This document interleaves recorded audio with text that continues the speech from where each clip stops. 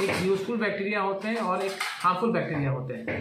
तो जो भी जंक फ़ूड सामान्य तौर पर हम लोग खाते हैं या टॉफ़ी बच्चे लोग खाते हैं तो रात में क्या होता है कि अगर ब्रश प्रॉपर बच्चा नहीं करता है तो वो जंक फ़ूड दांत में स्टिक कर जाता है और बॉडी का जो हार्मफुल बैक्टीरिया है, उससे जुड़कर एक एसिड पैदा करता है, जिसके कारण से दांतों में सड़न होना स्टार्ट हो जाता है और बच्चों में तेज़ दर्द होना स्टार्ट हो जाता है, फिर इसके कारण से फिर दांत निकालना पड़ता है। तो आए दिन ये सब शिकायतें आती हैं हमारे पास। इससे बचना चाहिए।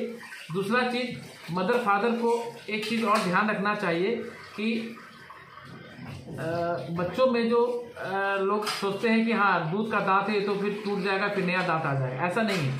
तो दूध का दांत को समय पर टूटने के लिए बेसिकली छः महीने से बारह साल तक दूध का दांत टूटता है। अगर वो समय से पहले दांत सर चुका, सर गया है तो समय से पहले वो दांत निकालना पड़ जाएगा। निकालने से क्या होगा कि फिर नया जो दांत है परमानेंट टूथ है, वो समय से पहले आ जाएगा।